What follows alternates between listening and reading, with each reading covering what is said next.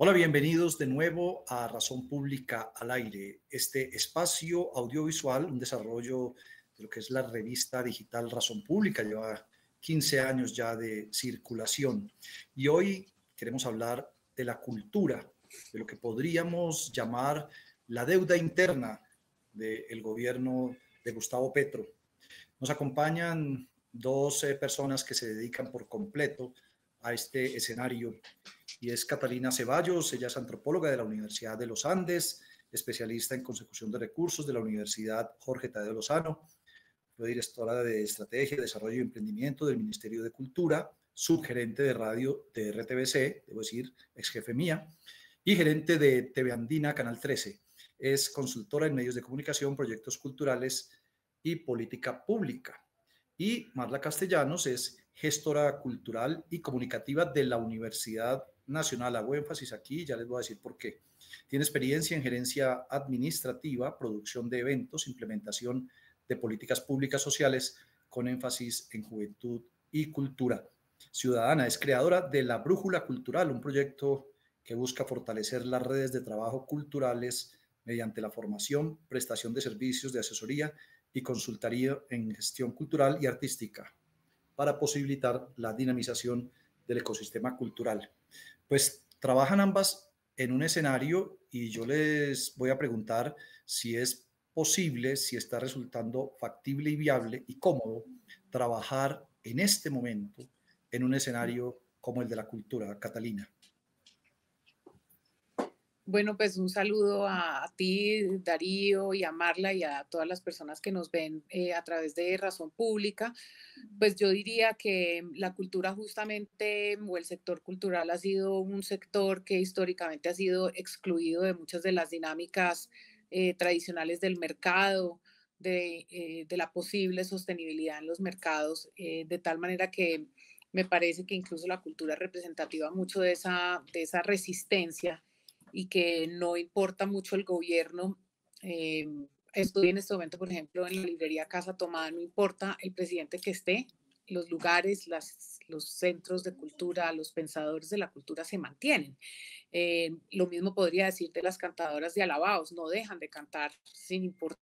cuál sea el gobierno que esté de turno. Creo que precisamente lo que es admirable y lo que a mí me apasiona del sector cultural es que si bien es un sector que depende plenamente de la política pública y de, y, de lo público, entendiendo, digamos, como las definiciones que se dan de los derechos culturales, em,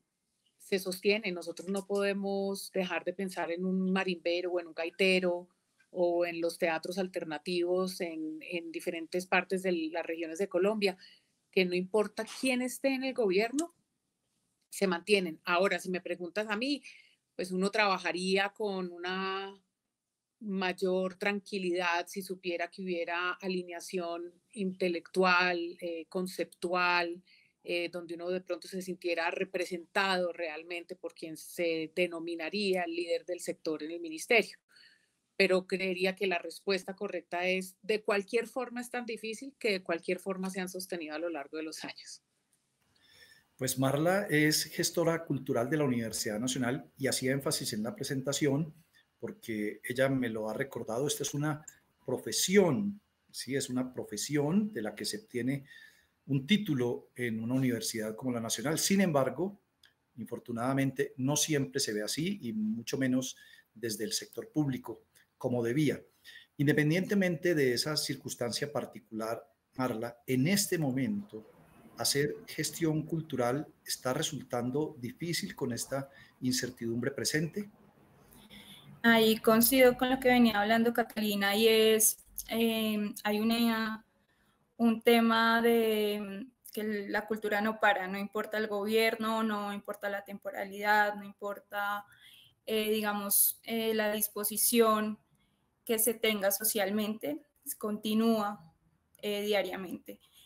Frente a las posibilidades, eh, que no las reduce las habilidades que tienen los cultores, es cada vez más difícil. Yo creo que hay un rezago adicional para el nuevo gobierno y en este momento es que viene con toda la oleada de la pandemia. Eh, creo que, mm, en, y, y, y hablándolo anteriormente con, con más personas, decíamos, fuimos los primeros en cerrar y, somos los, y,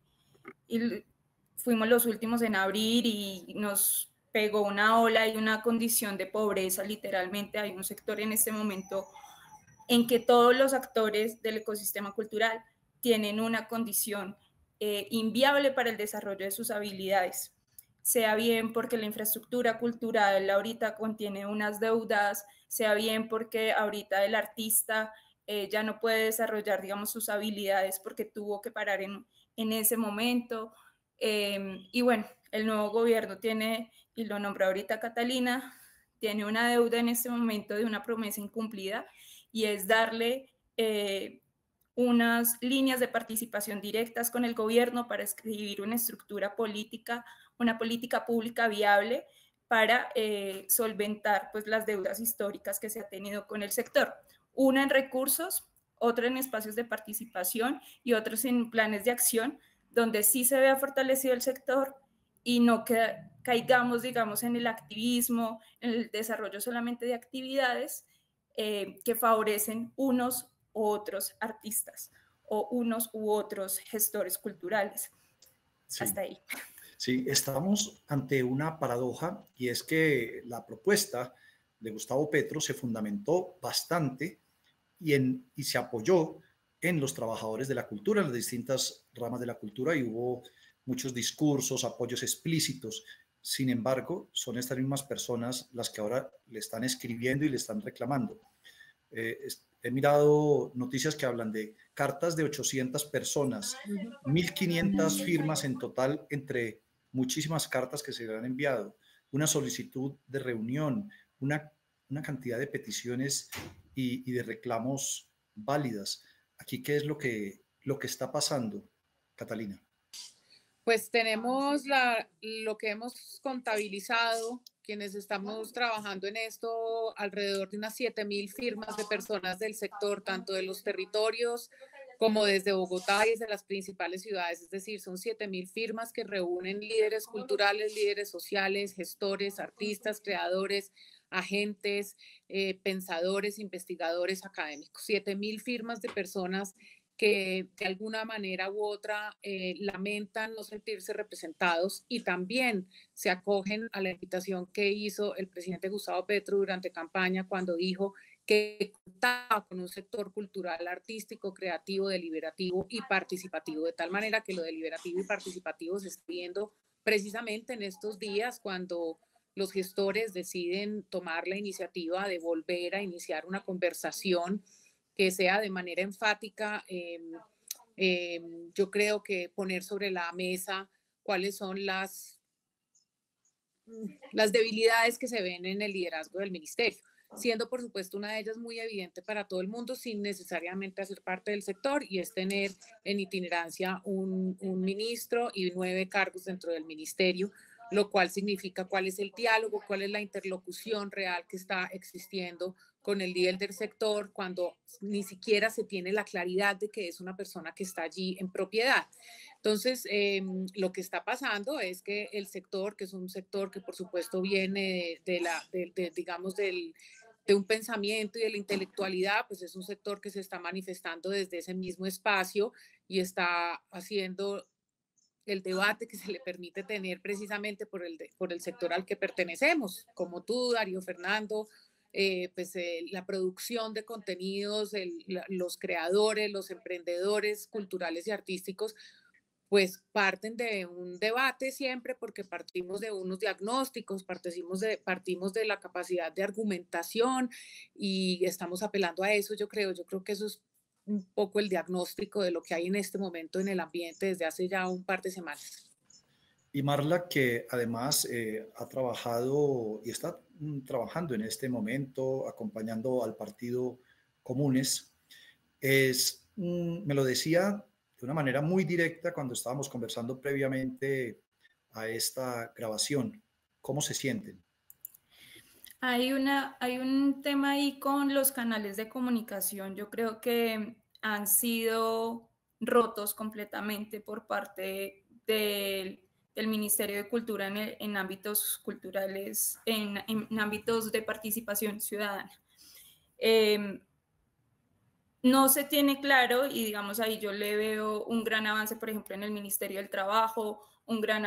avance en las TICs, y es que los ministerios dieron unas rutas claras de participación para los sectores para incidir en las políticas que hoy el gobierno tiene en salud, en trabajo y bueno, unas que sé que se están adelantando en tecnología y comunicaciones. No obstante, para el sector cultural, por la falta de cabeza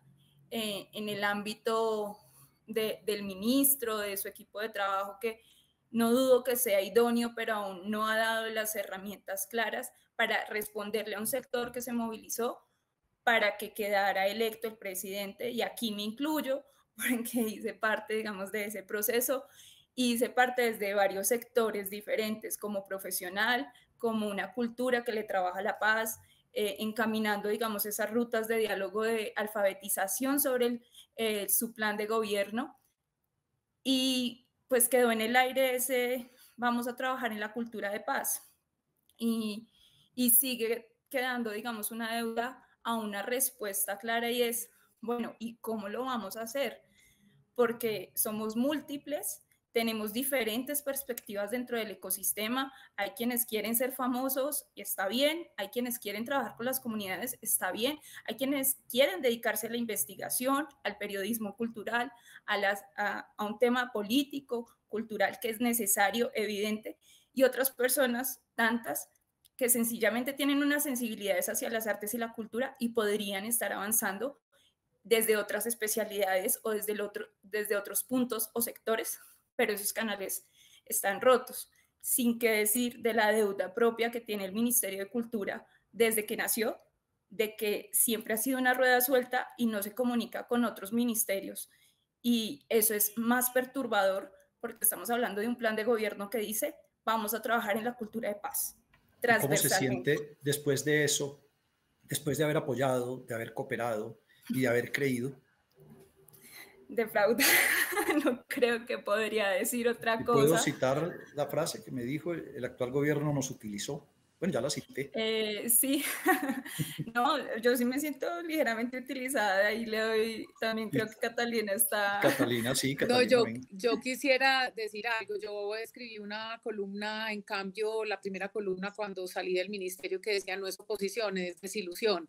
es una enorme desilusión y es como una... Pero realmente a lo que me quería referir, Darío, es a propósito de Marla y no sabía que trabajaba en comunes y quería decir algo que me parece muy importante. Hay un proyecto que se llama Cultura de Paz. La cultura de paz no es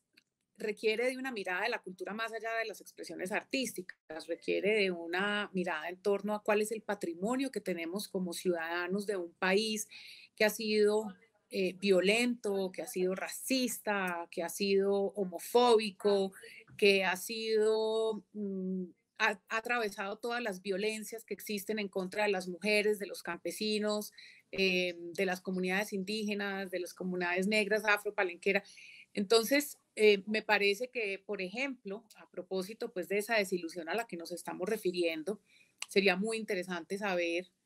qué se está haciendo en el Ministerio de Cultura precisamente para trabajar la cultura de paz, porque ¿quién más, con más autoridad eh, de conocimiento en la institucionalidad, de conocimiento como sector, que por ejemplo una comisión de la verdad demostró que a través del baile y del canto las comunidades podían poder volver a pensar en una convivencia y una reconciliación. ¿Y quién más que un proyecto político escrito durante campaña un plan de gobierno que hablaba de esto,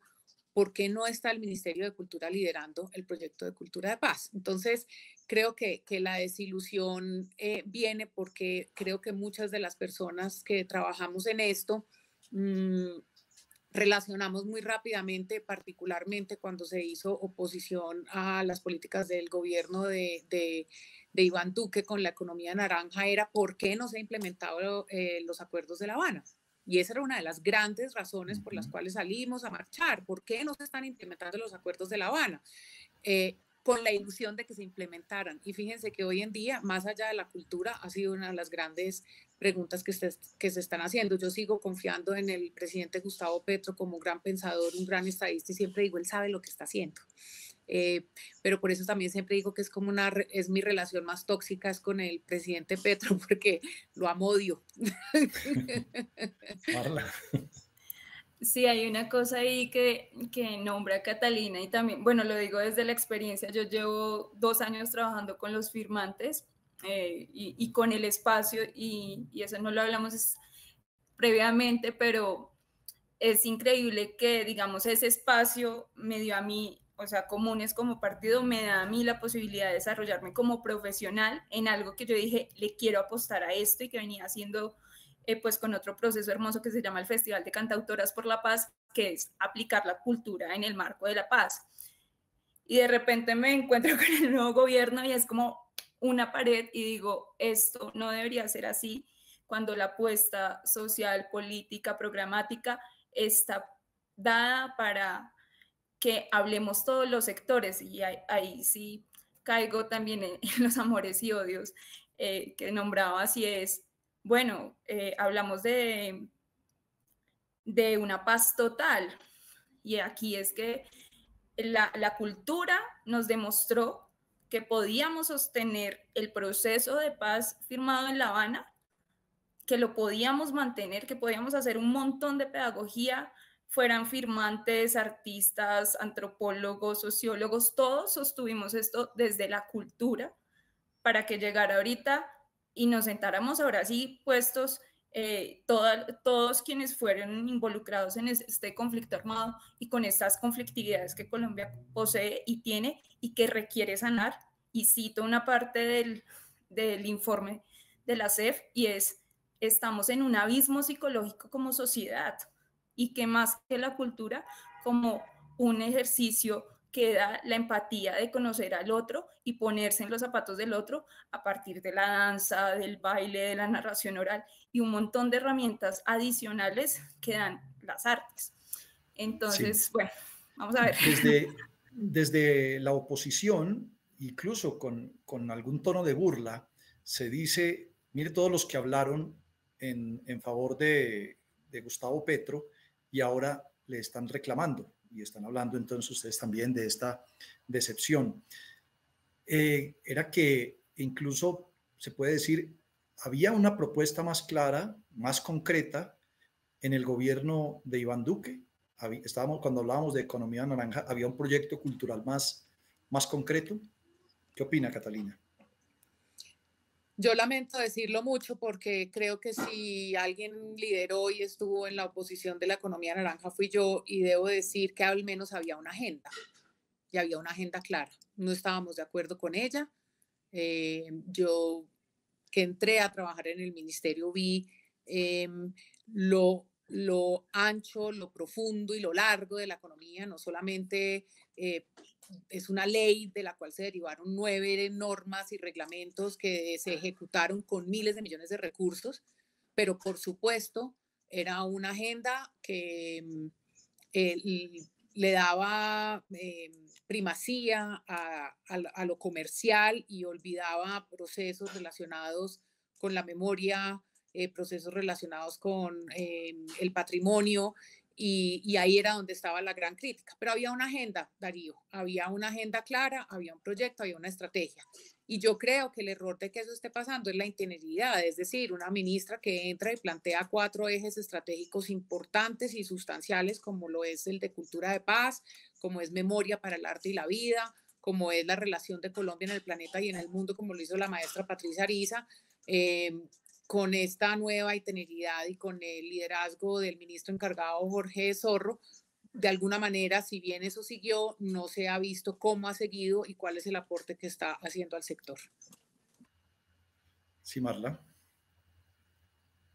Bueno,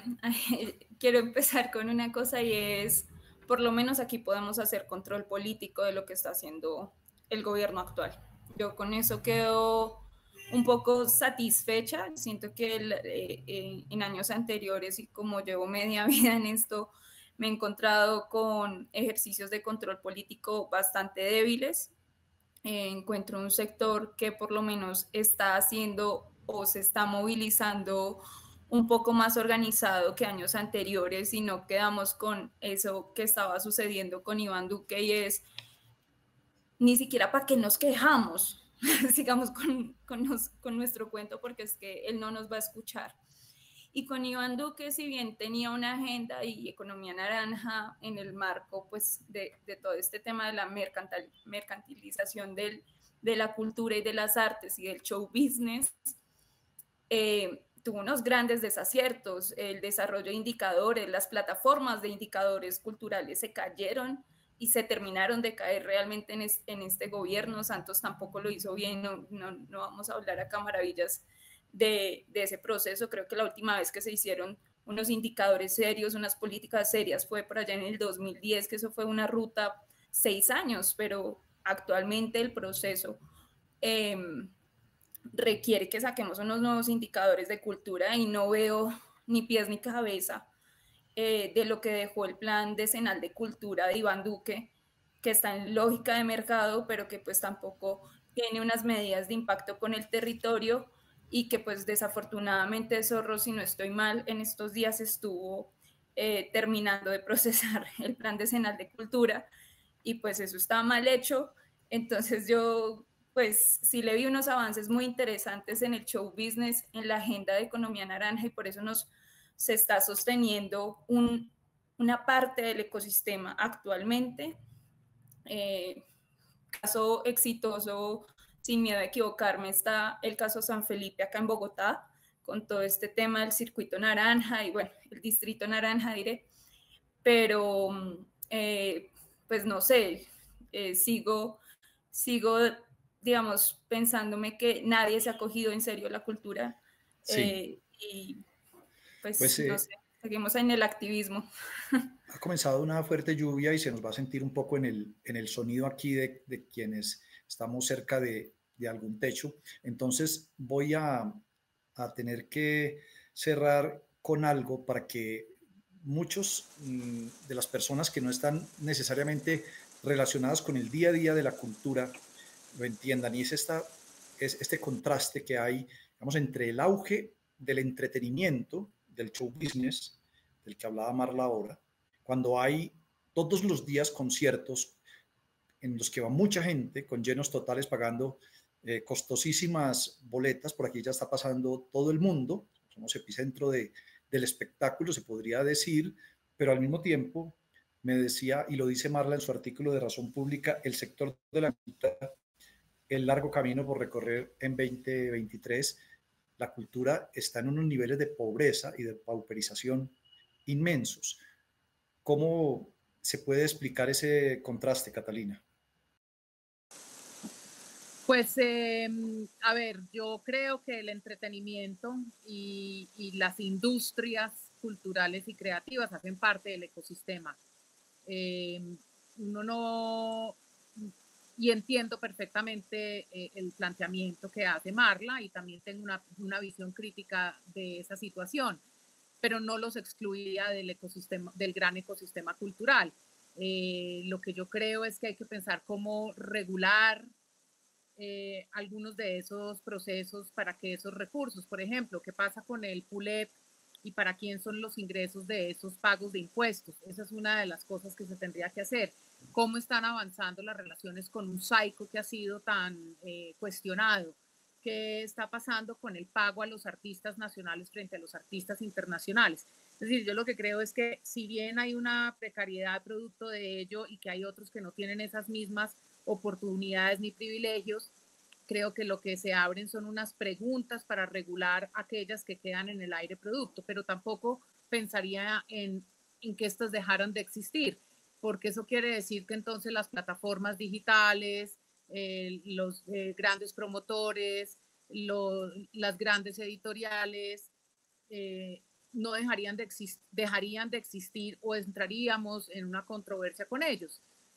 hay una industria, por ejemplo, la industria de la música independiente alternativa, la las, las libreros, los libreros y editores independientes frente a las grandes editoriales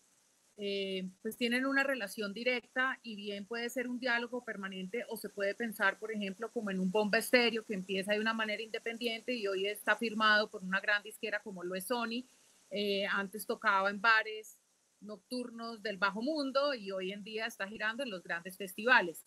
Eh, pero ese no puede ser el foco de atención. Creo que la economía naranja nos llevó a ese foco de atención. Lo que yo creo es que mientras que eso está pasando, tenemos que regularlo, tenemos que ver claramente cómo es la sostenibilidad y la economía de esas industrias frente a las economías populares de unas cantadoras de alabados, de unos muralistas, de unos artesanos, eh, de los hipoperos, eh, de los teatros alternativos, y que todos puedan convivir y que ellos a su vez puedan tener una vida digna. Y vida digna no es simplemente pagar agua, luz y teléfono. Una vida digna es poder vivir de su arte, de su gestión, de su creación. Em, pero preferiría que pudiéramos entender todo como un gran ecosistema cultural en donde las industrias culturales y creativas pues también tienen un, rol en el mundo globalizado, por lo menos. Así es, Marla. Y también su opinión sobre este contraste, si se puede ver así, y, cómo esa, esa pobreza, esa pauperización se puede sentir más en los territorios, que sí definitivamente ya están desconectados en este momento del Ministerio de Cultura. Pues bueno, ahí hay varias cosas. Eh, primero, pues sí, el Movistar Arena no se va a llenar gratis. Eh, y no se va a llenar un día si pongo a una, una cantadora, ¿no? Hay, hay, que hacer una formación de públicos y yo en eso sí, digamos, estoy muy de acuerdo em, de lo que venía trabajando la economía naranja y que nos da miedo admitir y es que somos, eh, o sea, la sociedad colombiana como sociedad estamos analfabetizados sobre qué hace un artista, qué hace un técnico, qué hace un ingeniero de sonido, qué hace y hay profesiones y oficios muy importantes en todo el sector y lo primero que veo ahí es que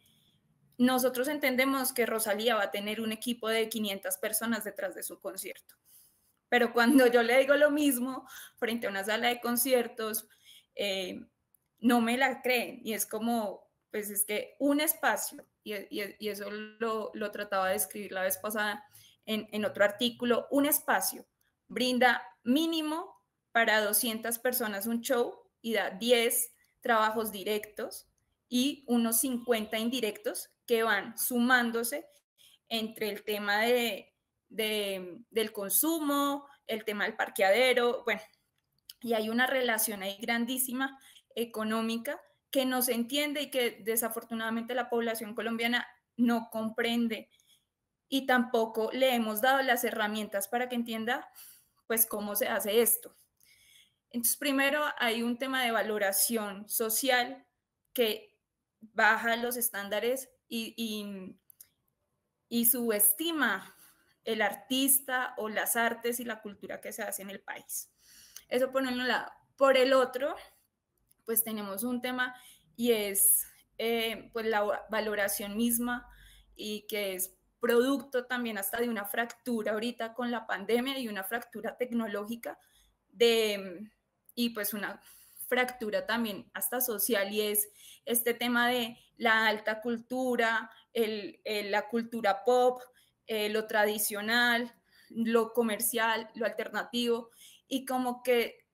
siempre se está peleando sobre qué es mejor que qué. Cuando ahí eh, estoy muy de acuerdo y es todas hacen parte de lo que hace que todos vivamos de hacer arte, de hacer cultura y de tener un trabajo digno. O sea, quien decida ser tramoyista, que gane por ser tramoyista, sea de un teatro de sala por allá en Manizales o sea de una sala de conciertos o de un teatro acá muy grande como el Colón.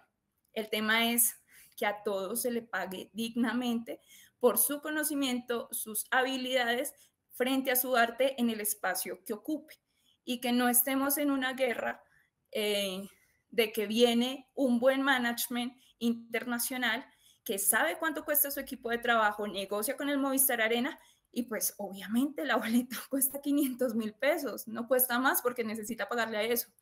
pero vaya una a decirle lo mismo, oiga, necesito que cada uno me pague yo le tengo unas cifras a la boletería para cumplir un, rango de, de, un equipo de 10 personas con aforo de 200 y son más o menos 45 mil a 65 mil pesos para haya un pago como digno. Uno dice una boleta de eso y la gente se sorprende del común, ¿no? Y pues eso, eh, eh, imagínate también en los pueblos donde solamente hay una sala, solamente hay un café y donde hay músicos excepcionales, porque pues, hay una cantidad de artistas excepcionales en territorio. Bueno, pues voy a, recoger eh, algo que me decía Marla también y es que por lo menos somos nombrados y en este momento estas 7.000 personas que han firmado cartas, estas mismas y muchos que no, que no han alcanzado a firmar, muchas de estas personas que ayudaron a elegir un proyecto político, que se hicieron sentir y que usaron toda su influencia para promover ese proyecto político, y los que no también se están haciendo sentir nuevamente para decir aquí estamos y ponerse en, también en la primera línea de la, de la agenda nacional. Y eso eh, es algo que es un momento que, que creo que hay que mm, valorar mucho y que hay que aprovechar y ojalá pues tengamos las respuestas. Que entre esta desilusión y esperanza, pues la esperanza gane o no, Catalina. Pues yo soy escéptica, pero en este caso, dado que este oficio, esta disciplina mm, me ha exigido tener pasión permanente, voy a tener esperanza. Sabes, amor y, y, seré, seré escéptica con esperanza. Así es. Pues muchas gracias, gracias Catalina. Saludos allá a la librería Casa Tomada. Muchas gracias por la invitación y un gusto haber conocido a Marla y a ti por volverte a ver, así sea así virtualmente. Muchas gracias, muchas gracias. Y, Marla también, muchas gracias por habernos acompañado. Muchos éxitos en este durísimo trabajo de gestión cultural. Y a ustedes Muchísimas gracias. A todos. Gracias. A seguir dando hora por ahí. No olviden suscribirse a este canal de YouTube de Razón Pública y a seguirnos viendo y escuchando y leyendo también la revista digital Razón Pública. Hasta pronto.